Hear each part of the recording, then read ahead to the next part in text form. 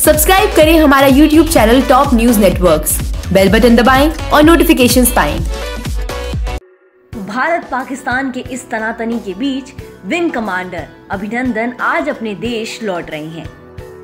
पाकिस्तान आज उन्हें रिहा करने वाला है और उनकी रिहाई की खुशी हर भारतवासी में देखी जा सकती है।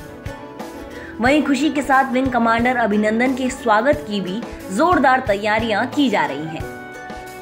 भारत पाकिस्तान की सीमा अटारी वाघा बॉर्डर पर, जहाँ सुबह से ही लोग बॉर्डर पर पहुँचने लगे हैं।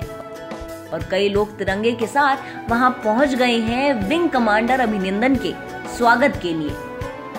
मगर लगता है लोगों को अभी और इंतज़ार करना पड़ेगा उनके वतन लौटने का, क्योंकि अब उनकी वापसी करीब छह घंटे की देरी से होगी, जहाँ पहले उन्हें 10 बजे अटारी वाघा बॉर्डर पर आना था।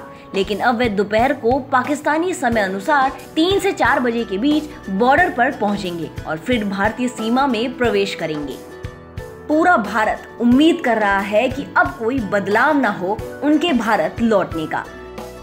देश और दुनिया की तमाम बड़ी खबरों के लिए जुड़े रहिए टॉप न्यूज़ नेटवर्क्स के साथ। धन्यवाद।